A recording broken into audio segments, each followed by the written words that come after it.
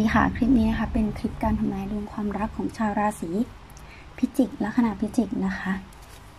ประจำช่วงครึ่งปีแรกของปี 2563 การนับราศีก็จะเป็นแบบตะวันตกนะคะ สามารถดูได้ที่ description box ได้เลยนะคะใต้คลิปนี้ การดูดวงก็เป็นการทำนายโดยรวมนะคะ ไม่ได้ระบุใครคนใดคนหนึ่งฉะนั้นมันจะไม่แม่นยำสำหรับทุกคน ดังนั้นขอให้คุณใช้วิจารณญาณในการรับชมด้วยนะคะ โอเคค่ะ คนโสดชาวพิจิกนะคะ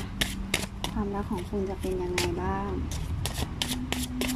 จะมีใครเข้ามาไหมจะได้คอมมิตหรือหรือเปล่านะคะแปดถ้วยค่ะ เหมือนจะเพิ่งโสดในบางคน justice นะคะ king of swords king of wands temperance นะคะ คนโสดจะมีคนเข้ามาให้คุณตัดสินใจค่ะ มีทั้งธาตุไฟธาตุลมนะคะ ได้แก่ชาวที่อยู่ในราศีลัคนาดาวศุกร์เมษสิงห์ธนูกุมเมถุนตุลนะคะ เข้ามาให้คุณตัดสินใจ เป็นคนที่อยู่ต่างถิ่นต่างแดน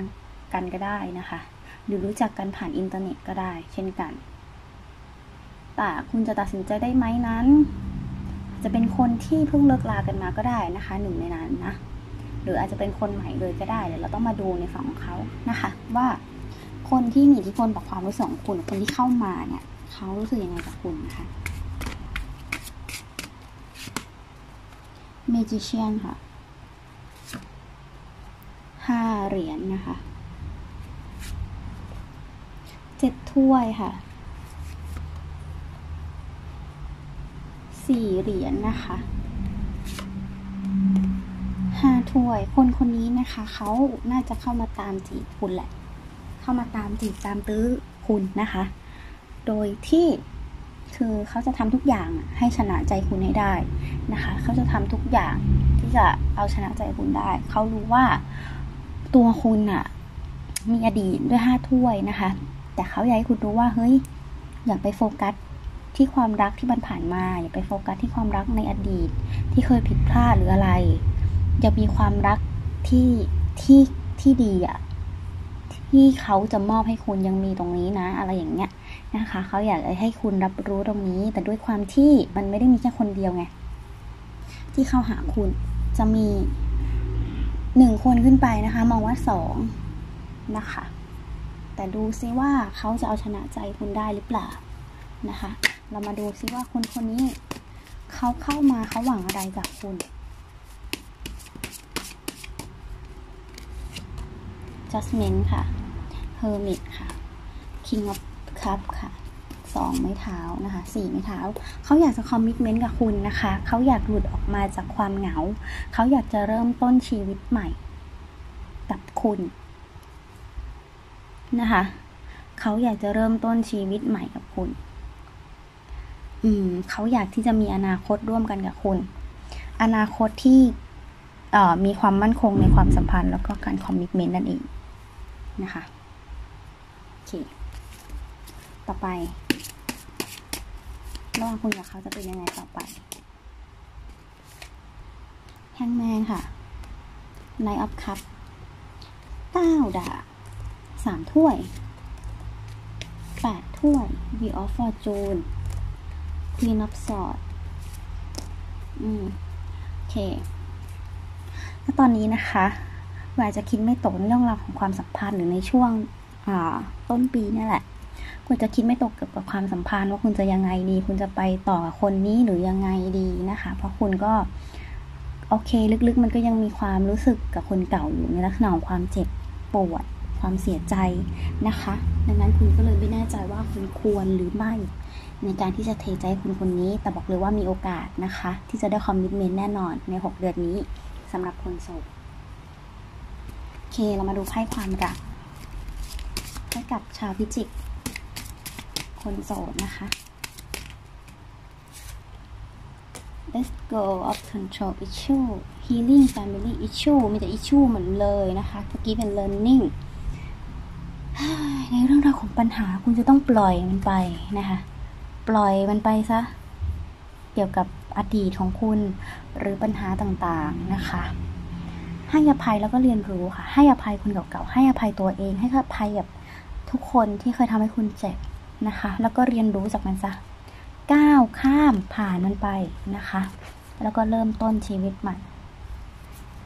แล้วก็จะแฮปปี้นั่นเองนะคะ โอเคสำหรับคนโสด ก็ประมาณนี้นะคะงั้นก็ขอบคุณที่รับชม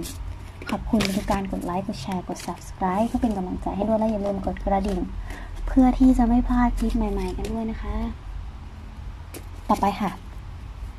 คนมีคู่ คนมีคู่ชาวพิจิก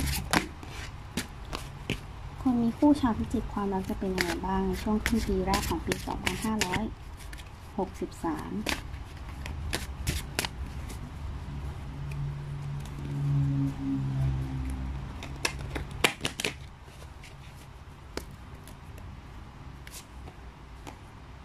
The Sun ค่ะ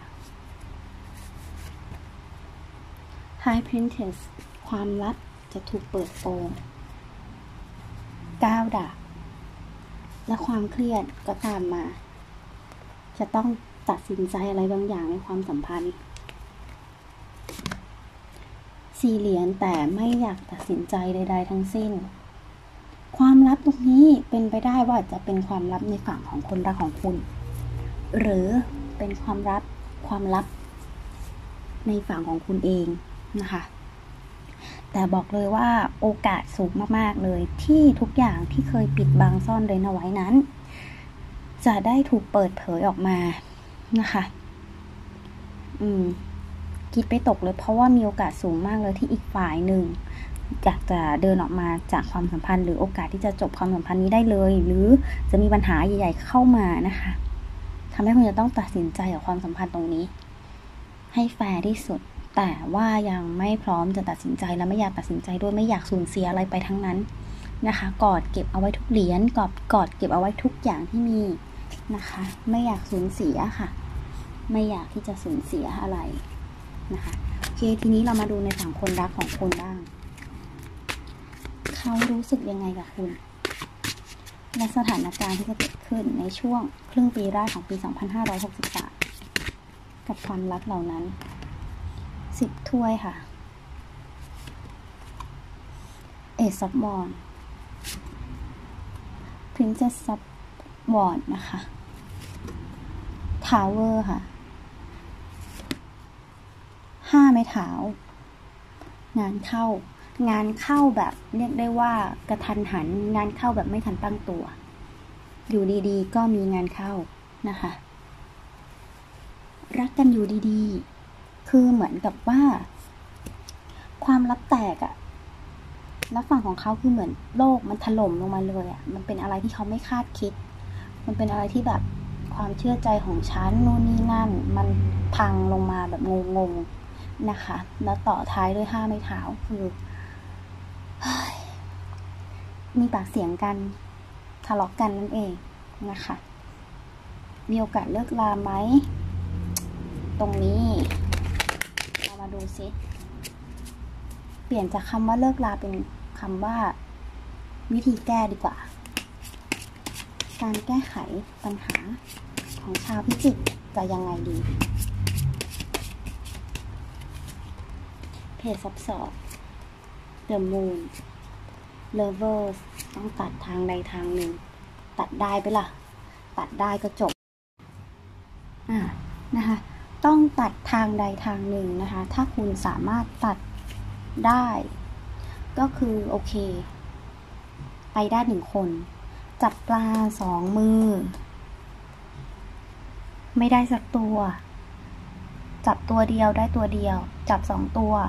หลุดทั้งสองตัวนะคะ ดังนั้นคิดได้ดีๆ ในความสัมพันธ์นี่คือวิธีแก้ สิ่งเดียวนะคะ ที่จะแก้ไขได้ ในเรื่องราวของทาวเวอร์ที่เข้ามา มองว่าความลับนั้นน่าจะหลุดมาจากปากของคนที่เป็นบุคคลที่สามนะคะ อาจจะเปิดเผยตัวแล้วไม่อยากที่จะอยู่ในเงามืดอีกต่อไปโอเคแล้ว ระหว่างคุณกับเขาจะเป็นยังไงต่อ สองถ้วยค่ะสิบถ้วย ดูดีมิจิเชียนค่ะสี่ไม้เท้า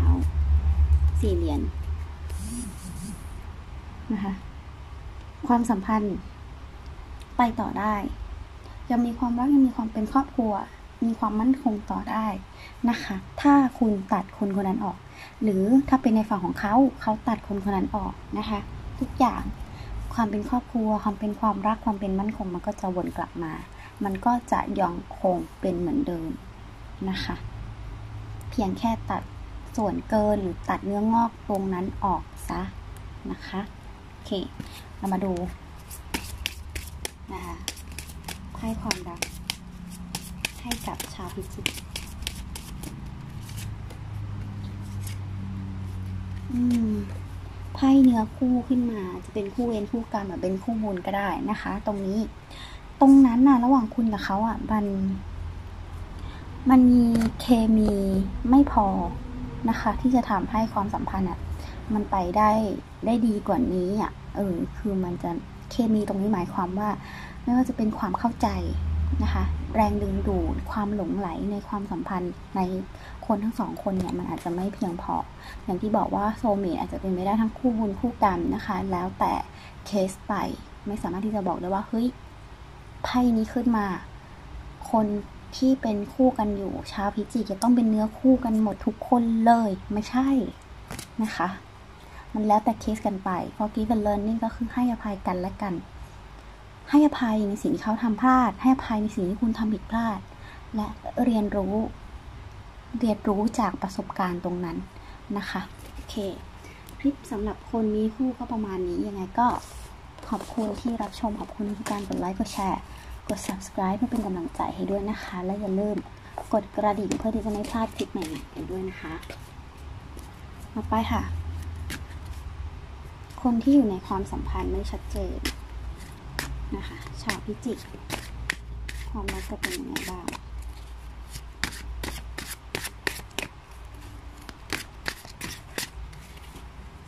ชาวพิจิก คนที่อยู่ในความสัมพันธ์ไม่ชัดเจนเจ็ดดาบนะคะ Queen of Pentacles เก้าดาบไปแอบส่องอะไรมาแล้วทำให้รู้สึกเคืองตัวเองนะคะ เคืองตัวเขา Princess of Swords สี่ดาบ ความสัมพันธ์มันไม่คืบหน้าเลยนะคะ คุณอาจจะไปส่องไปสืบไปแอบดูไปรู้อะไรมาเกี่ยวกับเขานะคะ แล้วทำให้ไม่โอเค อาจจะมีเรื่องเครียดเพิ่มกว่าเดิมด้วยซ้ำเพราะว่าคือระหว่างคุณกับเขาอะมันมีความนิ่งเกิดขึ้น ก็เลยสงสัยว่ามันเกิดอะไรขึ้น มันมีอะไรหรือเปล่าหรือเขาอยู่คืออยู่ดีๆ ก็หายไลน์ไม่ตอบ ไม่คุยกันแล้วหรือยังไงนะคะ สารพัดคือคิดเยอะมากๆ ก็เข้าใจจุดนี้ ด้วยความที่ความสัมพันธ์มันไม่คืบหน้าเลยอะมันนิ่งมากนะคะ นิ่งแล้วก็เงียบ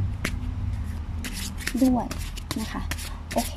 เรามาดูในฝั่งของเขานะ ว่าเขารู้สึกยังไงกับคุณบ้างไพ่เดทค่ะสิบเหรียญนนะคะ Princess of Cup ห้าถ้วย ดาบนะคะ ฝั่งของเขาเองอะ่ะเหมือนเขาอยากที่จะจบความสัมพันธ์มากกว่า แล้วก็มีการ move on อะสิบเหรียญมองว่าเขานะคะ อาจจะมีคนที่คุยกันแบบจริงจังอยู่แล้วอะ่ะเออแล้วเขาก็เลยอยากที่จะเลือกจบในจุดนี้นะคะเขาจะต้องเลือกฝ่ายใดฝ่ายหนึ่งแต่เขาเลือกที่จะเดินออกมามากกว่า เขาก็เลยเดินออกมาแบบเงียบ เงียบๆแล้วคุณก็ดันไปรู้เอง เพราะว่าก็นะ คนเราไม่อยากเป็นคนโง่หรอก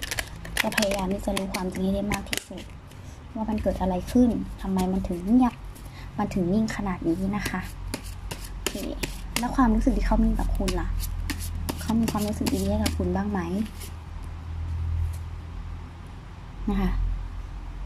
ไพ่เดทขึ้นมาสองใบเพจซับบอล นายอับสอนรู้สึกชอบค่ะ แต่ไปต่อไม่ได้ รู้สึกชอบเฉยๆ รู้สึกดี แต่ไม่สามารถเป็นในระดับของการเป็นแฟนกันได้นะคะอืมคือยังไม่ได้ใช่ขนาดนั้นร้อยเปอร์เซ็นทีนี้ โอเค ไม่เป็นไร ไม่เป็นไรนะคุณ เราก็มาดู ว่าคุณจะได้เจอคนใหม่ๆไหมนะคะ ความสัมพันธ์หรือตัวคุณเองเนี่ยจะได้เจอคนดีๆไหมหรือจะเป็นยังไงต่อหกไม้เท้าค่ะห้าดาบแฮงแมนสองดาบเดอะสตาร์นะคะเจ็ดไม้เท้า มองว่า อย่างน้อยๆอะคนก็รู้แล้วว่ามันคืออะไร ดังนั้นคุณจะรู้ดิเรกชันของคุณแล้วว่าคุณจะเดินไปทางไหน นะคะ โอเค คุณอาจจะยังรู้สึกกับคนคนนั้นอยู่ แต่ในเมื่อเขาเดินไปก็ปล่อยเขาไปนะคะ คุณไม่ต้องมาคิดคิดเครียดหรือว่าจมปักอยู่กับจุดนั้นดังนั้น ออกไปใช้ชีวิตของคุณนะคะเดอะสตาร์ออกไปเขาเรียกว่าบริหารเสน่ห์ของคุณให้เต็มที่ออกไปใช้ชีวิตให้เต็มที่นะคะ คนที่เข้ามาคุณอาจจะมีกำแพงกับเขาบ้าง ราะคุณรู้สึกว่าคุณไม่ไว้วางใจแล้ว แต่ก็ไม่เป็นไร แค่อย่าจมปลักตัวเองเท่านั้นพอนะคะ อย่าขังตัวเองเอาไว้นะคะ ใช้ชีวิตของคุณ อยู่กับเพื่อนฝูง อยู่กับงานอดิเรกที่คุณชอบ อยู่กับสิ่งที่คุณชอบนะคะเดี๋ยวคุณจะได้เจอคนที่ดีเองเนาะโอเค สำหรับชาวพิจิกก็จะประมาณนี้นะคะ ยังไงก็ขอบคุณที่รับชม ขอบคุณทุกการกดไลค์ กดแชร์ กด subscribe เพื่อเป็นกำลังใจให้ด้วย และอย่าลืมกดกระดิ่งเพื่อที่จะไม่พลาดคลิปใหม่ๆกันด้วยนะคะ สวัสดีค่ะ